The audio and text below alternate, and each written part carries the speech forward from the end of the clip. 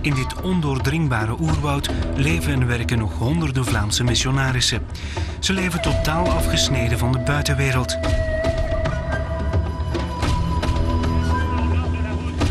Pater Denis vliegt één keer per maand naar Lulingu, op zo'n 1300 kilometer ten oosten van Kinshasa. Daar zullen we pater Valentijn en Jan ontmoeten, die als enige blanken tussen de geïsoleerde stammen leven. Dit vliegtuigje is het enige contact met de missieposten, want de vroegere wegen zijn door een gebrek aan onderhoud overwoekerd door het regenwoud. Pater Valentijn wacht ons op aan de landingspiste. De komst van het vliegtuig is de gebeurtenis van de maand. Valentijn is een witte pater. Hij is 62 en werkt al 40 jaar in Zaire. Hij is afkomstig uit Sint-Niklaas, maar het oerwoud is een echte thuis. We zijn er met eigen volk, dat is ons, dat is ons volk. Dat zijn mensen. We zijn blij van u te zien. Dat is eigenlijk heel hetzelfde dat we hier bezoekers hebben. In elke streek zijn er nog enkele Vlaamse missionarissen. In totaal nog zo'n 600 paters en 350 zusters. Valentijn is nog relatief jong. De meeste Vlaamse missionarissen zijn 70 of ouder. laatste van een uitstervend ras. We zijn er gewoon goed van. eh, we bereiden de kerk voor van morgen. Hè. We, we doen het al lang. Hè. Die ons gaan opvolgen, dat zijn de zwarte priesters. Hè. Wegen zijn er bijna niet meer in Zaire. Alleen nog modderpistes. Enkel in het droogseizoen kunnen terreinwagens hun weg vinden. Pater Valentijn nodigt ons uit voor een vergadering in een nabijgelegen parochie. Hij organiseert er een bijeenkomst voor de jongeren.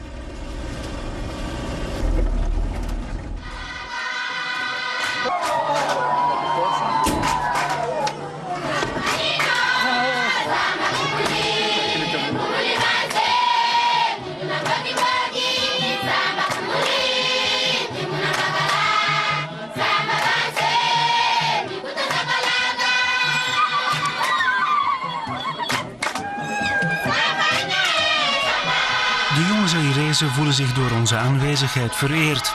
Buiten de paar missionarissen hebben ze nog geen andere blanken gezien. We staan in het middelpunt van de belangstelling. Via deze activiteiten wil Valentijn de jongeren motiveren voor de katholieke kerk. En dat is volgens hem nodig, want de jeugd voelt zich meer aangetrokken tot religieuze secten. Die zijn er steeds meer. Vooral protestantse secten uit de Verenigde Staten.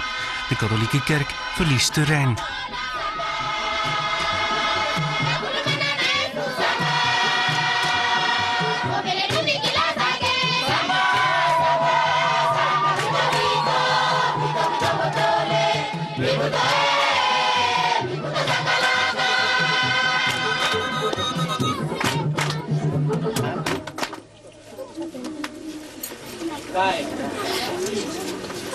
Hamujambo.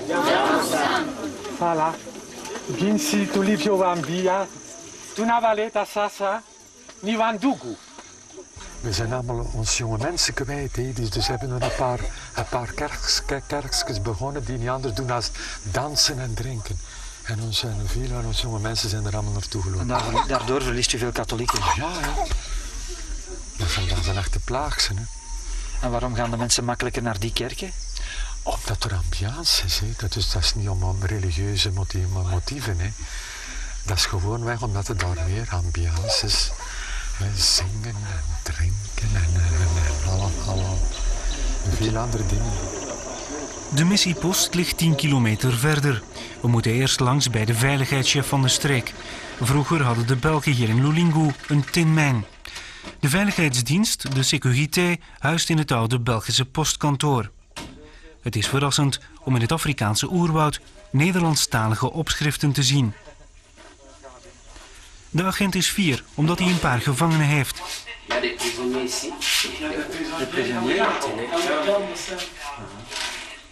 Pourquoi Ils sont prisonniers Oui, oui, ils ont fait mal.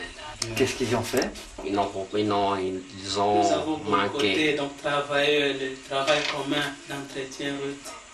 Ah oui Pourquoi Nous étions absents ces jours-là. S'ils ne travaillent pas, ils vont en prison. Ils sont coupables. Ils ont l'air encore souriants. Sauf que la famille n'est plus que les Moi, infirmiers. je serais en prison, je ce serait sourire Ça va. l'autre.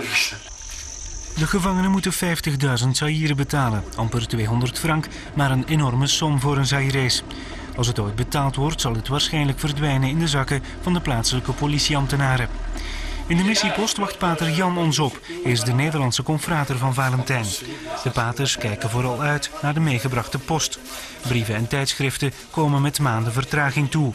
Ze worden met andere paters meegegeven. De Zairese post functioneert al lang niet meer. Valentijn en Jan spreken Frans met elkaar. Als ze Nederlands praten, denken de Zairezen dat er slechte dingen over hen verteld worden.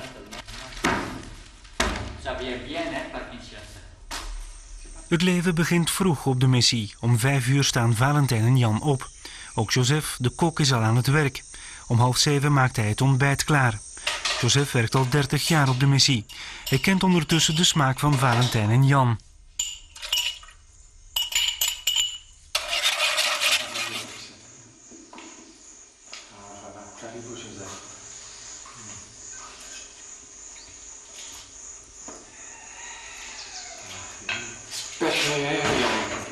Kost.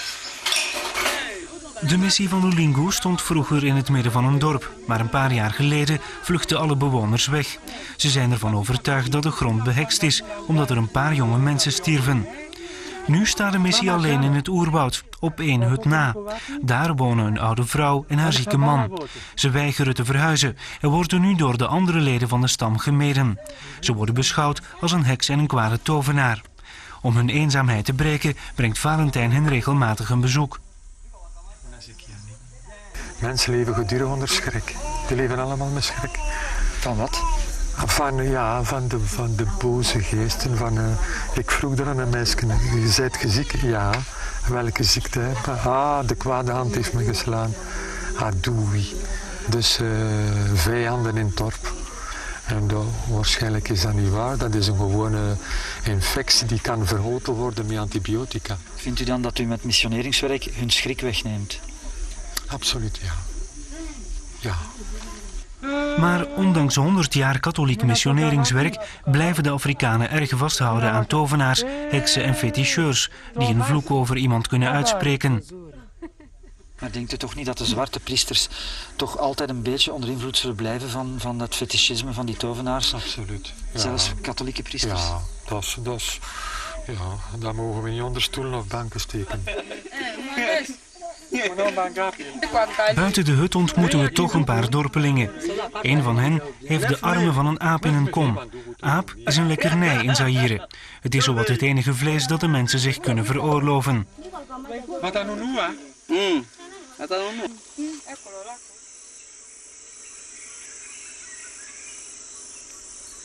Naar verder gelegen dorpen verplaatst Valentijn zich met een terreinmotor. Het is de enige motor in de streek.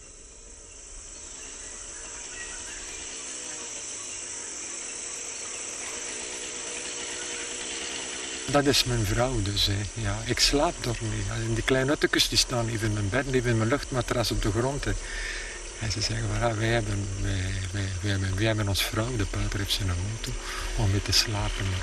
Dat is gewoon, hè. Het gebied van Valentijn is zo groot als heel Vlaanderen. Maar hij houdt eraan elk dorp regelmatig te bezoeken.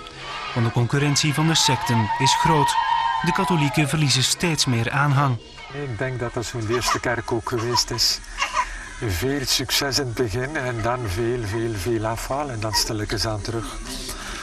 Ik denk dat we door de crisis door moeten. Het is niet uh, een triomfalistische kerk. In Europa ook niet meer ten, ten andere. Hè. De mis vindt plaats onder een bladerdak. Luxe hebben de mensen hier niet nodig. Maar een eredienst zonder zingen, dansen en swingende ritmes is ondenkbaar. De missionarissen hebben zich aangepast aan het andere temperament van de Afrikanen. Ze mogen ons hier onder een palmboom begraven, dat kan je kwaad. Nee, nee, ik als het God belieft, ze zeggen dat zien, maar ik zeg dat met echt, met al, met zijn draagkracht, zou ik hier willen blijven zo lang mogelijk.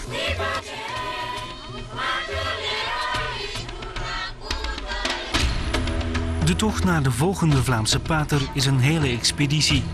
Na vier vluchten komen we weer in Kinshasa. En van daaruit moeten we naar Kikwit. Het vliegtuig voor de dagelijkse vlucht tussen Kinshasa en Kikwit hoort thuis in een museum. Een Dakota die in de jaren 30 werd gebouwd. Het was ooit in gebruik bij Sabena en daarna vloog het op oldtimer luchtshows in Europa. Nu is het weer gewoon een lijnvliegtuig.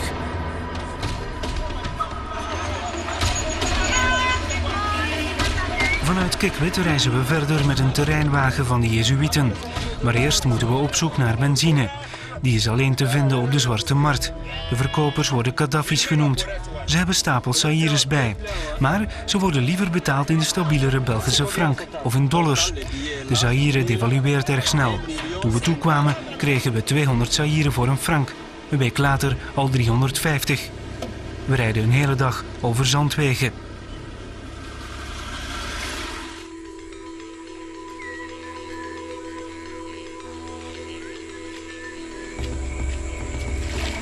Het laatste stuk naar Juma moet langs de rivier. In een uit één boomstam gehouwen prauw. Hier klopt het hart van het tropische regenwoud. Jean-Baptiste, een catechist van de missie, zal ons begeleiden. Vroeger was de missiepost van Juma bereikbaar met een wekelijkse vrachtboot, maar die werd een paar jaar geleden afgeschaft. Er waren geen wisselstukken meer voor de boot en er werden onderweg te veel goederen gestolen.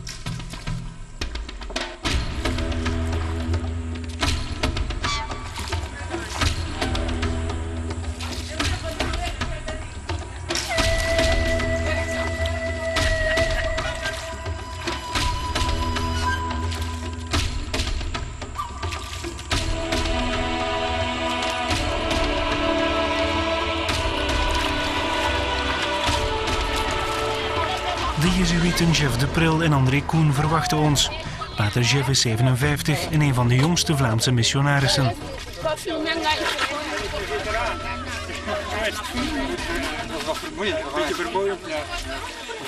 te veel, niet te veel geschopt onderweg. Het ging nog wel onderweg, het was niet te nat. Maar, de eh, wagen. Enfin, in ieder geval blijven komen. hè. Oké. Ja, oké. We zweten ervan. De kleffe hitte en vochtigheid plakt op het lijf. Dit klimaat is ondraaglijk voor wie het niet gewend is. Zoals overal in Zaire vallen de gebouwen van de Belgen erg op. Ook hier zijn de kerk en de missiepost de enige stenen gebouwen in de streek. Voor het overige is Zaire ondanks 100 jaar blanke aanwezigheid nog authentiek Afrikaans. Overal worden de hutten met gedroogde aarde en riet gebouwd. De Zairezen houden erg aan hun eigen tradities. De missionarissen werden vroeger soms verweten dat ze de Zairezen te betuttelend behandelden. Ik denk dat je zonder het te willen zit je toch altijd een beetje paternalistisch. Wij komen met onze denkpatronen, wij komen om, ja, om, de, laten we zeggen, om het geloof te verkondigen. Dus je weet toch altijd ongeveer waarvoor dat je komt. Hè? Dus als je ziet dat de andere mensen nu niet helemaal in die richting gaan, dan weet je toch altijd dat ze eerder langs uw kant komen. In Juma werken buiten Jeff en André nog twee Waalse paters. Een van hen, Per Joseph, praat elke morgen om half acht via de radio met de andere missies. Bij de fonie, zoals zij het noemen, proberen de missionarissen elkaar te helpen met transport, wisselstukken en melden ze als iemand ernstig ziek is. Het is hun enige contact met de buitenwereld. Het gewone telefoonnet functioneert al tientallen jaren niet meer in Zaire.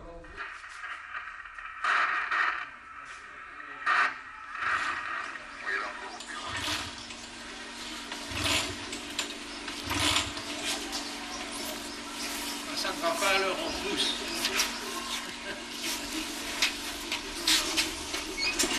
Na het ontbijt vertrekt de 81-jarige pater Joseph naar de school in de buurt. Die werd net door een hevige storm zwaar beschadigd. De daken zijn allemaal weggewaaid. De klassen zijn onbruikbaar. Volgende week begint het nieuwe schooljaar. Pater Koen is leraar op deze school. Hij kan overleven door de steun van de Jezuïtenorde. Maar zijn Zairese collega's hebben het financieel erg moeilijk. Staatsambtenaren worden al meer dan een jaar niet meer betaald. Ze verdienen ongeveer een 100 frank of een beetje meer per maand en is dus juist genoeg om een paar dagen te leven. Daarom vragen de leraars nu rechtstreekse steun aan de ouders. Dus sinds drie jaar is praktisch alles op de rug van de ouders. En dat weegt heel zwaar omdat ze juist veel kinderen hebben en ze willen ze allemaal naar, naar school sturen. Vooral sinds de nationalisatie van alle instellingen die in handen waren van buitenlanders ontstonden er problemen. Buiten de scholen vielen ook de ziekenhuizen en de handel stil. Voorzieningen van de Zairese staat zijn er al lang niet meer. De missionarissen proberen deze leemte zo goed mogelijk in te vullen. We zien wel, als er nog iets functioneert, of enfin, grosso modo zou je kunnen zeggen, is het eigenlijk iets dat bestuurd wordt door, door een kerkgemeenschap, zij katholiek, zij protestant, zij, enfin, door mensen die er nog iets willen voor doen. Op de missie in Juma is een doop, trouw en overlijdensarchief. Daar houden twee secretarissen gedetailleerde fiches bij van alle katholieken uit het gebied sinds het ontstaan van de missie. Tot die toe eh, zijn we aan 124.000. Dus vanaf het begin van de missie van 1918. En dus ieder christen krijgt eh, een persoonlijke steekkaart, hè? dus met de, de gegevens op. Waarom doen jullie dat, die fiches bijhouden? Nou, eigenlijk is dat, dat is wel een verplichting. Hè? Dus eh, iedere gedoopte moet ingeschreven worden dat je min of meer kunt volgen waar u, uw christen zijn. Is hij gedoopt, is hij niet gedoopt? Hè, bijvoorbeeld iemand die wil trouwen, ja, die kunnen we zomaar niet uh, tuurlijk toedienen. Het is een zekere controle om te weten waar uw christenen zijn. Elke dag gaat pater Jeff op bezoek bij de mensen in de dorpen. Onderweg zijn de kantoniers aan het werk. Ze worden door de missies betaald om de wegen te onderhouden. De Zairese staat heeft daar geen geld meer voor. De gewone bevolking is tevreden dat er nog missionarissen gebleven zijn. Leur importance, croyez-moi, je vais vous dire, n'était été les pères, nous n'aurions pas pu avoir cette formation que nous avons actuellement. Mais tout a changé. Autrefois, par exemple, si j'ai tombé malade, je suis obligé d'aller chez des féticheurs. Maar ook al zijn ze katholiek, ze geloven nog altijd in geesten. C'est facile à transformer mon corps en un corps euh, d'une bête. Je vais mourir aussi aujourd'hui, mais au fond, je ne suis pas mort. Je suis mis quelque part en bourse, je deviens peut-être euh, un crocodile, l'antilope, un sanglier, tout en ça. tout, un serpent, En tout ce que buffle, tu quoi. veux, en buffle. Les gens qui meurent, ils se changent en, en animaux.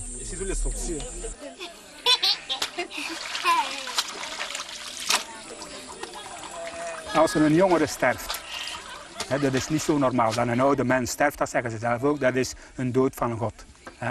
Dus we zeggen, die mens heeft lang geleefd, dat is normaal dat hij sterft. Maar een jonge mens sterft, of een jonge mens verongelukt, onderweg naar Kinshasa of weet ik wat. Dat is, dat is niet normaal. En de onkel, langs moederskant, wordt heel dikwijls verantwoordelijk gesteld voor die dood. Die gaan ze gewoon, die, die mens, als die niet vlucht, gaan ze die afranselen, steken ze zijn huis in brand enzovoort. Dat gebeurt, ik kan niet zeggen altijd, maar dat gebeurt. Ontwikkelingshelpers halen voldoening uit de materiële of medische vooruitgang van de plaatselijke bevolking. Missionarissen halen hun motivatie elders. Ik doe heel, graag priesterwerk. Omdat ik zeg, werk in hospitalen, dat kunnen anderen ook. Ja, priester zijn, dus dopen, onderrichten enzovoort, ja, dat is nu precies wat, wat ze mij gegeven hebben om te doen. Dus wellicht zult je meer deugd beleven met materieel uh, omdat je meer zult zien wat je doet. Apostolaat, dat doet je werkelijk in geloof. Hè. Onze volgende afspraak is in de Evenaarsprovincie in het noorden van het land. Het laatste stuk reizen we een hele dag met een terreinwagen. Hier in Bobito werken nog twee blanke missionarissen. Broeder Jules Verswijfeld uit Herentals en de Nederlandse pater Piet van Dun. Zeg het maar, de goeiedag. Goedendag. Dachten jullie ook eens te komen bezoeken? Oh ja. Heel goeiedag. Nou, ze hebben Want zoveel bezoek hebben we eigenlijk niet, hè? ze hebben mij verteld dat ik in Sassa. Ja. Ja, ja, ja. We zitten hier goed afgelegen aan mij. Oh, nou, nee. Op de grote weg. En we zitten dicht bij Gemena. Ah ja. Als de weg open is. Ik ga eerst naar de garage. Maar zullen wij Oké. geen drinken? Ja, Zou beter zijn. Zit in de frigo, kom direct. We gaan eerst mee naar de garage voor die, voor die latten, want we zijn het hout om te sorteren dat daar op zijn plaats ligt. Mijn laatste habit dat ik nog had, dat is gewoon in stukken gesneden en daar hebben ze calasangsjes van gemaakt voor, voor de kleinkindjes te geven. En mijn laatste koert van de cappuccine dat ik had, daar heb ik ons een keer mee gedepaneerd als we naar Libeng gereden. De riem van de ventilateur gebroken en we konden niet voort. Al wat ik kon doen, dat was gewoon weg een stuk van die koord afsnijden, de rond opspannen en mijn klitskoer erbij inbinden. Maar we zijn geen geraakt met één stuk koer. Jules werkt al 50 jaar in Zaire. Hij houdt van de Zairezen. Ook hier maar wordt heel anders gewerkt. Het draait en draait op zijn zwart.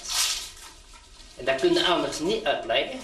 Want je kunt het niet vergelijken met, met een organisatie of een, of een werking in België, dat bestaat niet. Jules heeft een tiental helpers op de missie. Als hij ze nodig heeft, roept hij ze op zijn manier.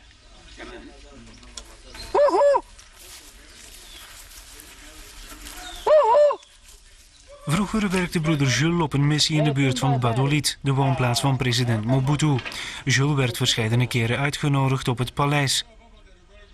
In Mobile zit ik dicht bij Badolid, die werden regelmatig uitgenodigd. Officieel, via het protocol. Wat kun je dan doen?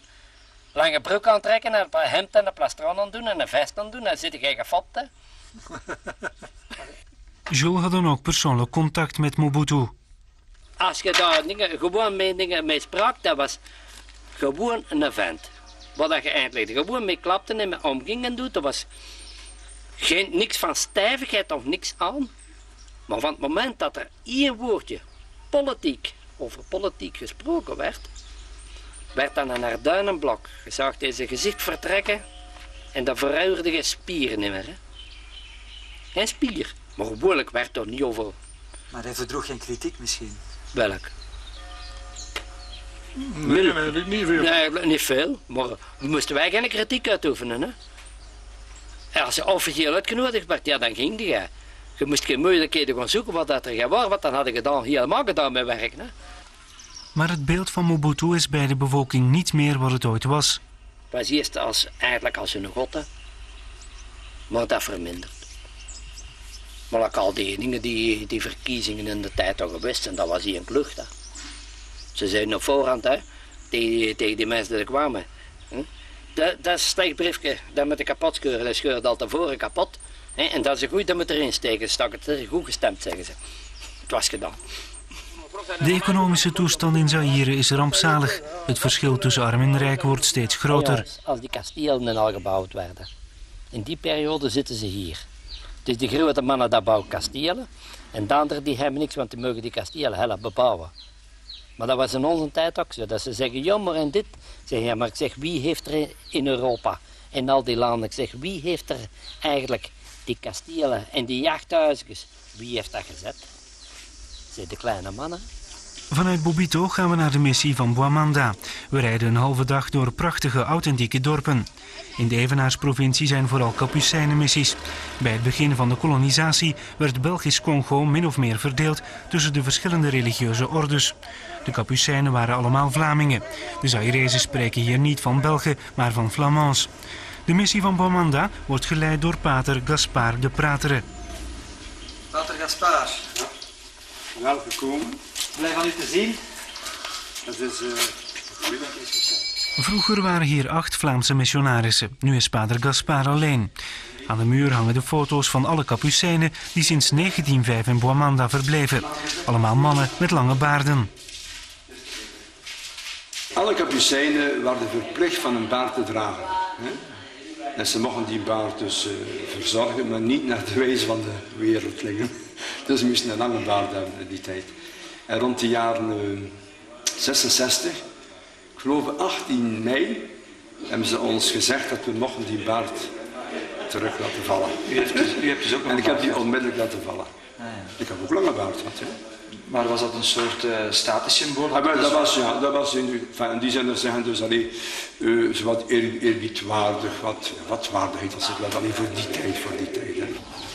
Gaspar heeft geen heimwee naar de lange baarden, maar wel naar de kerk van vroeger in Vlaanderen.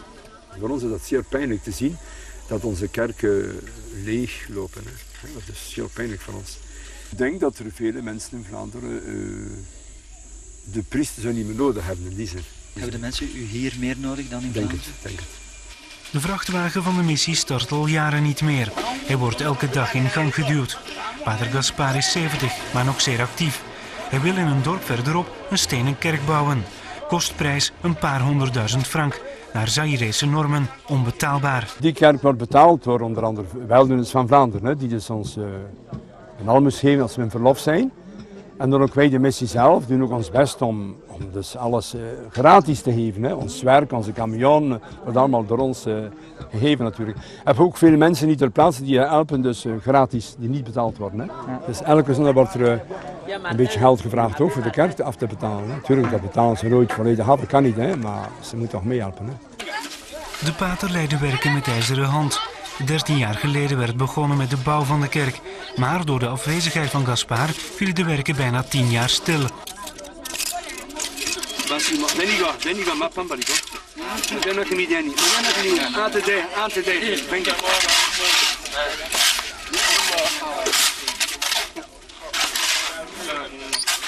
Als er niet bij zit, gebeurt er niks. Hè. Gebeurt er niks hè. Hoe komt dat? Ja, ja, ja, omdat ze zo zijn. Hè. Omdat ze, ze zijn nog niet veel veranderd. Hè. Omdat ze dit, hè. Nee, ja. Al- Ze zijn ook niet fier genoeg bij werk ook. Hè. Ze zijn niet fier genoeg ook. Hè. Misschien verstaan ze het niet altijd, kan ook zijn, ik weet het niet. Enfin, dat zijn nu ook wel meer vrijwilligers. hè. Het zijn geen, eh, geen, geen eh, mensen, geen ambachtsmensen. Hè. De kerk zal straks het enige stenen gebouw zijn in de streek.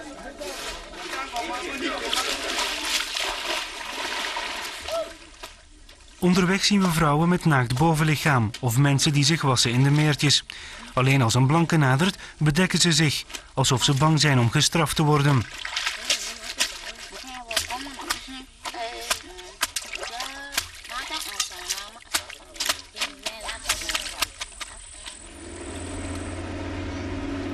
Tegenover ons heeft al een klein beetje reserve. Zo, hè. Misschien omdat wij dat gecreëerd hebben.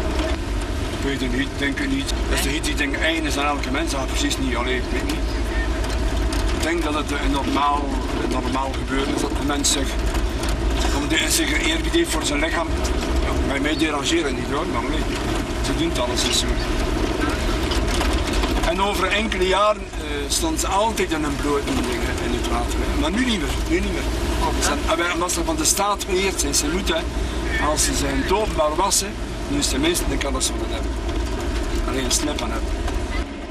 Zondag op de missie. De Zairezen komen nog massaal naar de mis. Elke keer opnieuw verdringen jongeren zich om misdienaar te zijn. Gaspar heeft er 70. Ook danseressen zijn er voldoende. Les belles danseuses worden ze hier genoemd. Pater Gaspar beseft dat hij tot de laatste generatie Vlaamse missionarissen behoort. De opvolging door de zwarte priesters stelt hem gerust. Maar de kerk zal er dan anders uitzien.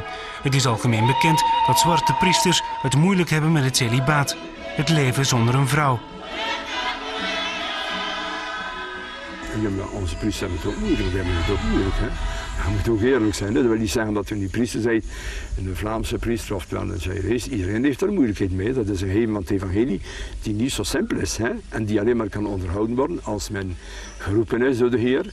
En dan ook, ja, dus voorzichtig is. En ook allee, serieus probeert van het, allee, proberen serieus te leven. Hè? in Die zin. Net zoals duizenden andere Vlaamse missionarissen wijde Gaspar zijn leven aan het verspreiden van het katholicisme.